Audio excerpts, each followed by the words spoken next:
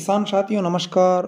आज हम इस वीडियो में ढाई वर्ष पहले लगाए गए अनार के बागीचे में अनार के उत्पादन, बगीचे के रख रखाव अनार के फटने की समस्या, व ऑर्गेनिक अनार को बेचने में आने वाली समस्याओं पर चर्चा करेंगे। साथ ही साथ बगीचे के मालिक, retired bank manager Shri Ramdev Dev से भी बातचीत करेंगे। अनार का ये बगीचा नागौर ज़िले की डेगना तहसील के ग्राम अलवास में स्थित है। श्री देवल ने मार्च 2019 में अपने तेरह बीघा खेत में ये बगीचा लगाया था। इस बगीचे में अभी शानदार फ्रूटिंग हो रही है, जिसे देखकर देवल दंपति खुश है, जबकि बगीचा लगाते समय इनकी हँसी उड़ाने वाले लोग अच्छे उत्पादन को देखकर मौन है और हैरान भी है, क्योंकि किसी ने भी ये नहीं सोचा था कि रेतीले धोरों व बालू रेत में इतना अच्छा बगीचा लग सकता है। इस तेरह बीघा खेत में इन्होंने अनार के 2000 पौधे लगाए थे, जिनमें से 1800 पौधे स्वस्थ व एक समान आकार के हैं सभी पौधों में अच्छी फ्रूटिंग हो रही है, फलों की संख्या की बात की जाए तो प्रत्येक पौधे पर 40 से लेकर 60 तक फल लगे हुए हैं। औसत 50 फलों की 200 ग्राम प्रति फल के हिसाब से गणना करें तो अभी प्रत्येक पौधे पर 10 किलोग्राम फल लगे हुए हैं। कम से कम पचास रुपये का भाव माने तो प्रत्येक पौधे से पाँच सौ रुपये की आय होगी। इस प्रकार बगीचे की प्रथम आय के रूप में साढ़े सात लाख रुपए के लगभग आय होगी। साठ के लगभग फ्रूट लगभग हर पौधा है। तो साठ को मतलब एक पौधा पर लगभग कितना किलो माल है? तो कितना होना हो यूनिट एक एक फ्रूट दो सौ ग्राम वाला। दो सौ ग्राम हुआ है। लगभग दस बारह किलो के लगभग हुआ है। बारह किलो भाव बाज़ार में बार?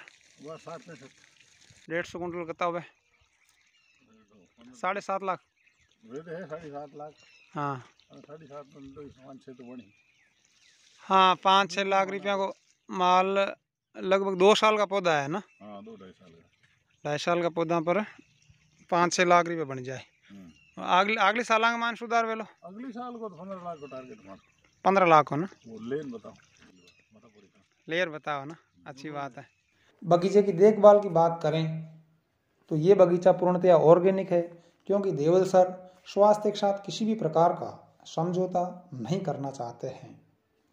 इसलिए इस बगीचे में रासायनिक खाद व कीटनाशकों का उपयोग नहीं किया जाता है।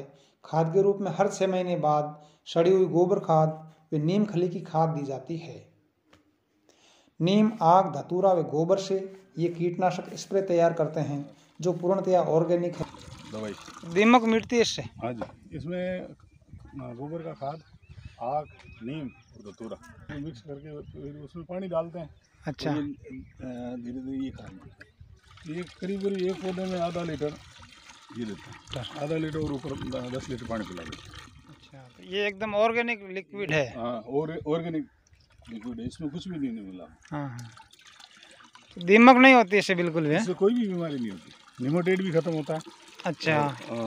बीमारी दीमक भी बिल्कुल खत्म हो जाती है। इस बगीचे में सिंचाई मीठे पानी से की जाती है। इसके लिए यहाँ पर 80 गुना अस्सी फीट का फार्म बॉन्ड बना हुआ है जिसमें वर्षा जल का संचय किया जाता है।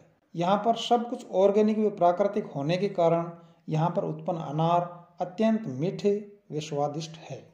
कलर तो बहुत ही बढ़िया है। स्वाद स्वाद स्वाद हाँ, जोरदार एकदम मीठी है। हम्म, हम्म। पर लोग का ये कि वो पंप एंड सो के जमाना है अभी इनको देखो ऊपर कितनी हरी है हम्म हम्म हम्म फिर भी मिट टेस्ट देखो आप, हम्म, हम्म टेस्ट देखो आप बिल्कुल एकदम हरी है लेकिन गवर्नमेंट के ऑर्गेनिक करो ऑर्गेनिक करो लेकिन ऑर्गेनिक करो मार्केट नहीं मिल अनार की खेती में सबसे बड़ी समस्या फलों के फटने की है जिससे उत्पादन फलों की गुणवत्ता व आय पर प्रतिकूल प्रभाव पड़ता है। यहाँ पर हम देख रहे हैं कि प्रत्येक पौधे पर दो से तीन फलों में फटने की समस्या है।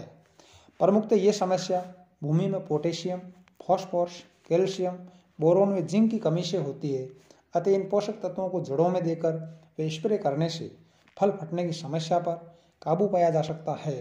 परंतु यहाँ पर मामला कुछ और है। फल फटने के लिए तो सब कोई खाद वगैरह देना पड़ेगा। हम्म हम्म। इस बार तो क्या है थोड़ा मौसम ने भी साथ नहीं दिया। हाँ हाँ। और टाइमली खाद अ, खाद वगैरह नहीं दे पाए। हम्म हम्म। इस चक्कर में फटे हैं। अच्छा फल फटने में एक एक आध फटता है।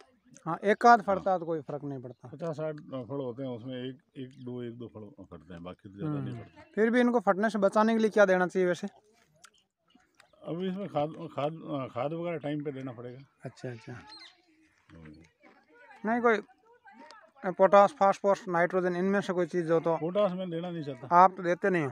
क्यों? मैं देना ये ह्यूमन बॉडी के लिए थोड़ा खतरनाक होता है। पोटास है ना? हाँ। अच्छा अच्छा। उससे चमक तो आ जाएगी लाल हो जाएगा। हम्म हम्म सब अ, लेकिन हार्मफुल है मतलब। सही बात रेट को कम मिले एक साल घाटा लगेगा तो कोई फ़र्क नहीं पड़ता। हाँ हाँ अगली साल कमा लेंगे। सही बात लेकिन करूँगा ऑर्गेनिक ये बहुत अच्छी बात है। समाज के लिए ये प्रेरणा की बात है। हाँ। तो शुरू शुरू में जो पौधे लगाते हैं तो इसके अंदर जलते हैं ना हाँ तो हैं भाई दीमक है दीमक है। हाँ हाँ। क्योंकि अनार के अंदर सबसे ज़्यादा निमोटेड होता है। नीमूटाइड है? निमोटेड एक निमोटेड जिसको जड़ के अंदर गांठें हो जाती है अच्छा अच्छा। तो निमोटेड दवा देने से अपना आप ग्रोथ हो जाता है।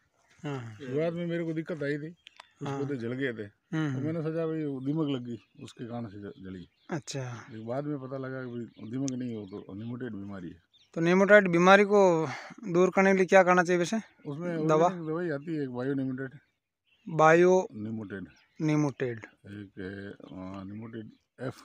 दो तीन निमोटेड दवाई मिक्स करके उसमें डालनी पड़ती है। अनार की खेती में दूसरी बड़ी समस्या तोते व गिलेरियों की है जो फलों को काट कर बड़ा नुकसान पहुंचाते हैं। तोतों से फलों को बचाने के लिए देवल सर ने ऑर्डनी के रूप में वैकल्पिक व्यवस्था की है पर बर्ड नेट के बिना फलों को पक्षियों से बचाना संभव नहीं है। जाली थोड़ा कॉस्टली पड़ती है हालाँकि उसमें सरकार देती है पचास हज़ार रुपये अनुदान। पचास हज़ार रूपए प्रति बीघा या एकड़ दो, दो एकड़ के लिए। दो एकड़ के लिए पचास हज़ार। हज़ार वो उसमें फॉर्मेलिटी लंबी चौड़ी है साहब। अब दो एकड़ के लिए तो जाली का खर्चा भी बहुत ज़्यादा पड़ जाता होगा। खर्चा करीब बैठता है एक लाख रुपए एक लाख रुपए अच्छा दो एकड़ के लिए? हाँ हाँ, दो एकड़ के लिए। दो एकड़ में तो पाँच बीघा। पाँच बीघा। पाँच बीघा में एक लाख का एक लाख का। फिर आपके तेरह बीघा में तो डबल हो गया। काफ़ी खर्चा दो ढाई लाख रुपए खर्च हो जाते हैं मैंने कोशिश की है कि इस एरिया में अनार अनार डेवलप करूँ। लेकिन लास्ट में जाकर के रेट नहीं मिल पा रही। बाकी मेहनत में कोई दिक्कत नहीं है। अभी ढाई साल का पौधा है। हम्म ढाई हम्म, साल के अंदर मैंने इस हिसाब से तैयार कर लिया इसको। और टोटल ऑर्गेनिक किया हम्म, लेकिन जब रेट नहीं मिलती है तो उस टाइम थोड़ा दिक्कत होती है। सही बात है। गिलेरियों पर काबू पाने के लिए इन्होंने प्रत्येक पेड़ पर पॉलीथीन की पन्नी लगाई है। देवल सर का मानना है कि वो बगीचे में आने वाली हर समस्या का समाधान पर्यावरण व मानव स्वास्थ्य को ध्यान में रखते हुए ही करेंगे। अगर आप अनार की ऑर्गेनिक खेती के संबंध में इनसे कुछ जानना चाहें तो किसी भी समय इनसे बात कर सकते हैं। इन्होंने अपनी दृढ़ इच्छा शक्ति व कठोर परिश्रम द्वारा इस सुंदर बगीचे का निर्माण किया है। जो इस क्षेत्र के किसानों के लिए प्रेरणा का बड़ा स्रोत बनेगा। बागवानी कृषि आज के समय की आवश्यकता है। किसान के रूप में वही किसान भाई आगे बढ़े हैं, जिन्होंने खेती में नए नए तरीके अपनाए हैं। आप भी थोड़ी सी जोखिम उठाएँ और आगे बढ़ें। अनार का बगीचा एक बार लगाने के बाद 25 से 30 वर्ष तक लगातार उत्पादन देता रहता है, जिससे आर्थिक स्थिति को सुदृढ़ बनाया जा सकता है। अगर आपको मेरे द्वारा दी गई जानकारी प्रेरक व उपयोगी लगे तो प्रामाणिक व विश्वसनीय जानकारी प्राप्त करने के लिए आप मेरे चैनल को सब्सक्राइब अवश्य करें। वीडियो में अंत तक बने रहने के लिए आपका तय दिल से शुक्रिया। बहुत बहुत धन्यवाद।